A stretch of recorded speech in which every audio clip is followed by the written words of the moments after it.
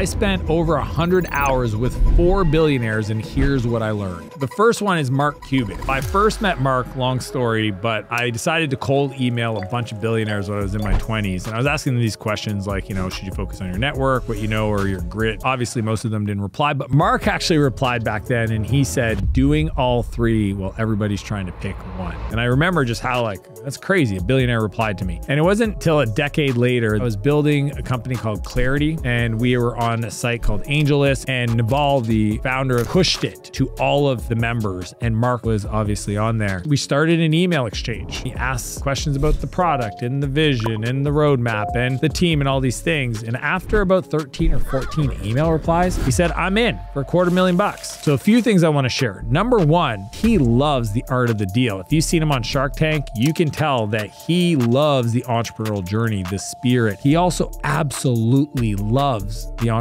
game the strategy, the tactics, the different ways you can enter a market, how can you position the product. 100% of the time, when I sent an investor update email, he always replied. And then finally, you have to have the drive. You got to want to grow. You have to have a desire. You have to be engaged in the game of business and have that level of drive. That's what Mark taught me. The second billionaire is Richard Branson. This is such a crazy story. I want you to understand. I grew up in a small town in Eastern Canada. The fact that I got an opportunity to spend a week with him at his home in Switzerland still blows my mind. A few years prior, I helped this guy out who had a startup and he appreciated so much that he ended up raising from Richard and Richard was going on vacation to his place in Switzerland and asked him to invite people that he thought Richard might find interesting. And I got the email. And honestly, I was like looking at this, like, is this an April Fool's joke? Like, is this real? And it wasn't until I was sitting in the living room and Richard walked out that my brain allowed me to believe, oh my gosh, this is happening. Tim Ferriss was there, Brian Johnson from the Biohacker Blueprint, the co founder of Stripe, so many incredible entrepreneurs. And then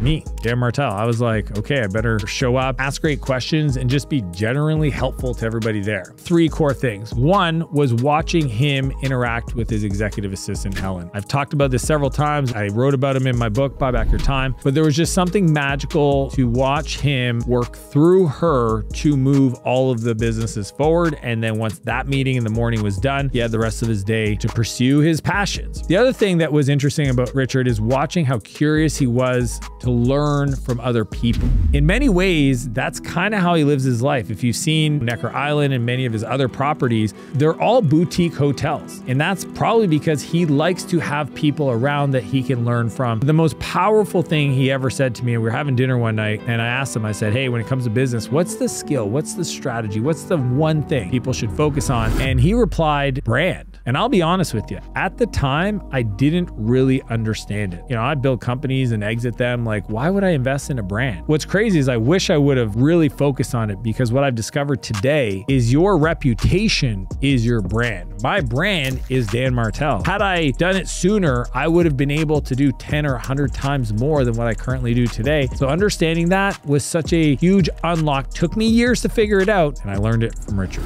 The third is a guy named Travis Kalanick, and he was the founder and CEO of Uber. Now, the way I met Travis is kind of interesting because Travis had just sold his company, uh, Red Swoosh, to Akamai, this old CDN company. And there was an event called the TechCrunch 50. My friend Steve Poland was coming to San Francisco for the event. And I guess Travis posted on Twitter back in the day if anybody needed a place to sleep, let me know. You can crash on my jam pad. And Steve was one of those people. And it wasn't until I was raising money for Flowtown that I reached back out to him because he was an investor and he invited us to the jam pad. And it was in that moment that I realized who Travis was. There are some serious lessons that I learned by spending a lot of time with Travis that I want to share with you that I know is the reason why Uber became what it became. One is when you decide to build a business, go laser focused. I mean, it was pretty much like a light switch. The moment that Travis took over CEOing of Uber, every relationship, every conversation,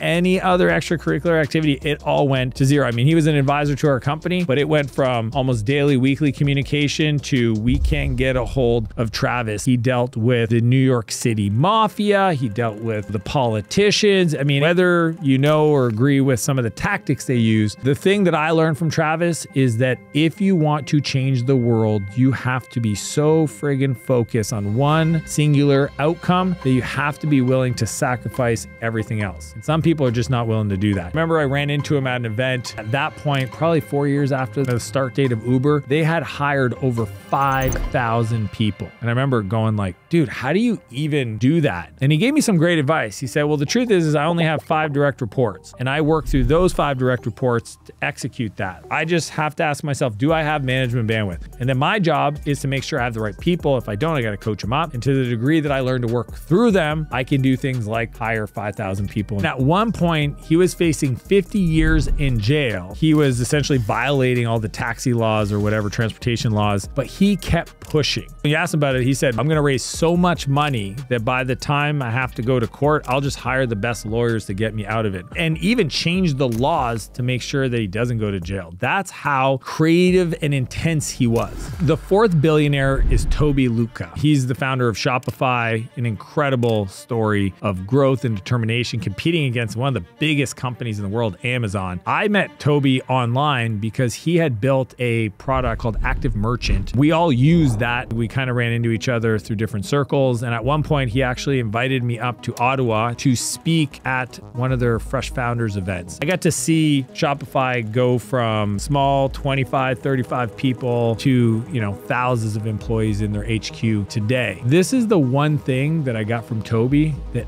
every entrepreneur needs to hear that can transform their whole business. He applied software development principles to people development within a company. In big companies on the tech side, they have a thing called DevOps, a department that's dedicated to improving the efficiency of the engineering team, the developers. And what he did is he created engines of growth in not only the engineering side, which is world class, but also in the HR side and the marketing side and the customer success side and all these different departments within the business. I mean, they were one of the first companies to hire executive coaches for their leadership team because he just felt like if everybody's hiring the same people, the company that has the ability to support and unlock the creative and execution of their team is going to win. That was such a huge idea that I've applied in every one of my companies. Why I keep telling people we build the people, the people build the business. And if you apply that to your business, you're going to unlock your talent. That's what I learned from 100 hours with four billionaires. Now, if you want to learn how CEOs schedule their day, click the video and I'll see you on the other side.